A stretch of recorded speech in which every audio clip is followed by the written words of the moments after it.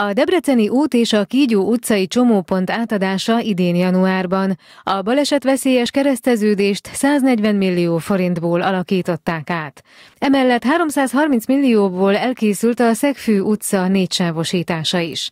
A városban idén folytatódnak a közlekedésfejlesztési programok, a bel- és külterületi utak építése, illetve a csapadékvíz elvezetési projektek is. A következő nagyon fontos csomag, Szintén ezt eh, elindítottuk még az elmúlt ciklusban, de hát nem ekkora eh, forrással rendelkeztünk, az az intézmények felújítása.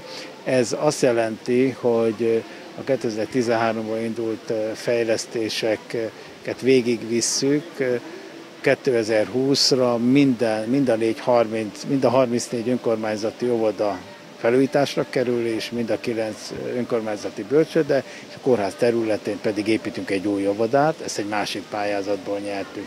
Az integrált közlekedésfejlesztési operatív programban elnyert 7 milliárd forintot új buszok beszerzésére, telephelyük kialakítására és utastájékoztató rendszer kiépítésére fordítja az önkormányzat.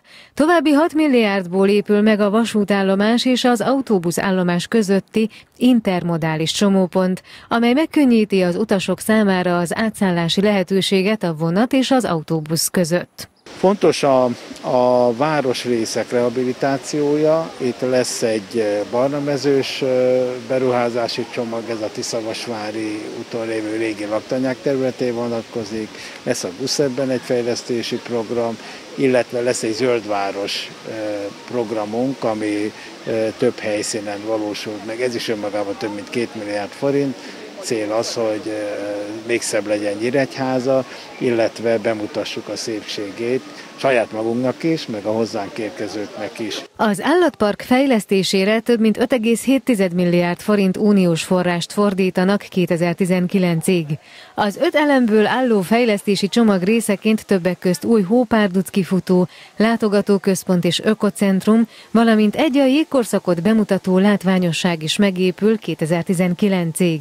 Az önkormányzati beruházások nagy része még ebben az évben, illetve jövő tavasszal indulhat el.